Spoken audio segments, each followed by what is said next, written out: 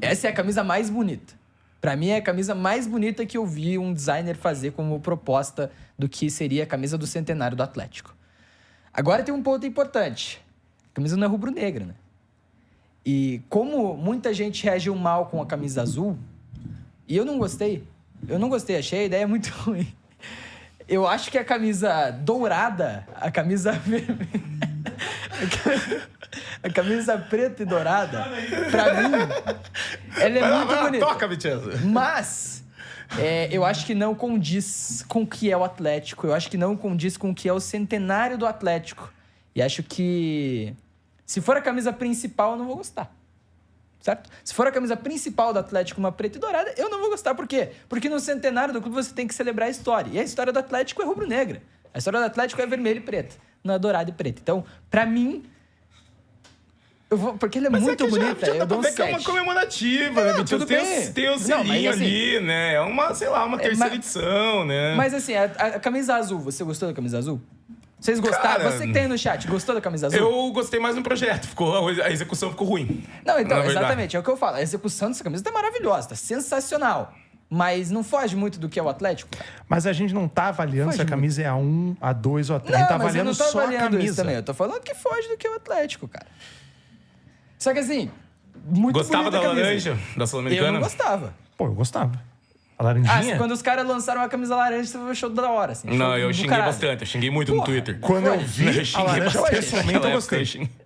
Quando eu vi a laranja pessoalmente, eu gostei. Ah, não, eu, eu- eu sou meio resistente, assim, a essa parada. Eu acho que, principalmente comemorando um centenário, o Atlético tem que ser rubro-negro, cara.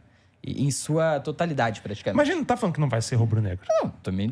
Tá claramente mostrando que é uma, Uma comemorativa, que é uma sim. comemorativa. Não, então, ó, Eu achei a camisa bonita. Eu não vou mentir aqui. Eu tô falando, pô, a camisa é linda. E pra mim é, como eu falei, é mais bonita das que a gente vai ver aqui. Só que foge da ideia, cara. Foge do que é o Atlético. Pô, o Atlético é rubro-negro. Camisas, as camisas todas têm que ser rubro-negro. Claro, então dá vai ter que ter uma nota. branca. Dá a tua nota. É, oito. Melhorou, Oito né? pela Melhorou. beleza. Ele falou sete ali Oito no pela início. beleza. Eu acho que ele leu os comentários aqui, a galera, Isso, né, dando aquela xingando malhada, aqui. xingando até Não, pô, mas a dá- próxima geração. Dá, dá pra entender, não dá não? Aí terminou com Dá pra oito. entender? Nota.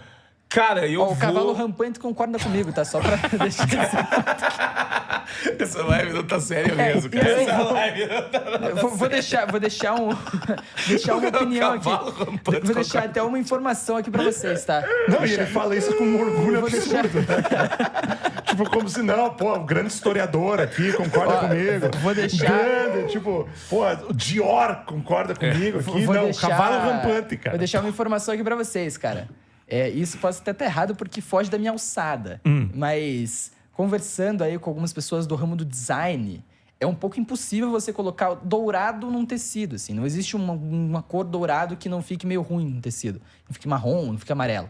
Então, as camisas douradas sofrem desse mal, tá ligado? Hum. Dependendo muito do material que vai ser utilizado. Então, é algo pra ficar esperto nessas Então tá ideias aí de camisas douradas. Tá bom, tua nota tá, Tá, tá bom. válida. Tá nota 8, tá Juliano válida. Fusca. Cara, essa eu vou de 9,5. Essa eu realmente iria à loja dormir lá, fazer plantão, mandar mensagem lá pro Gilberto, lá, o gerente. A cara reserva uma urgente, vai acabar rapidamente, então eu preciso da minha. 9,5. Não gostei, ó, ser bem sério. O Copacol e a Liga, né? Os patrocínios ali de cima, eles estão meio sumidos nesse tom. Se ficasse cinza. dourado, acho que é.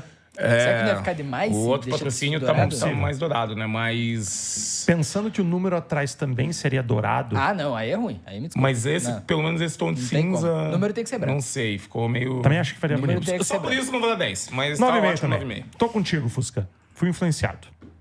Tá justo.